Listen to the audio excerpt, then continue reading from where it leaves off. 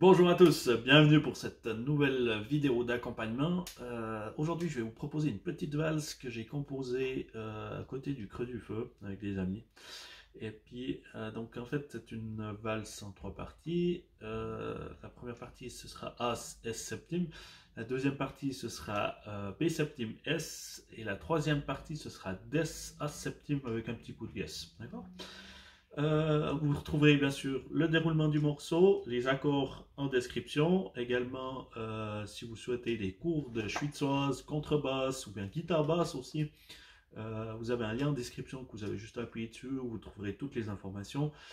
Pour des animations musicales avec les bandits folkloriques, le Ressouli Band ou bien le duo Diodel, c'est aussi en description dans les animations musicales. Et puis, on va y aller, générique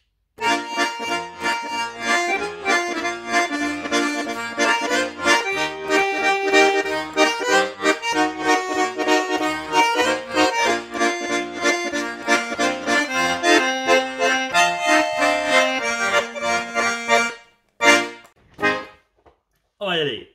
Un, deux, trois, un, deux.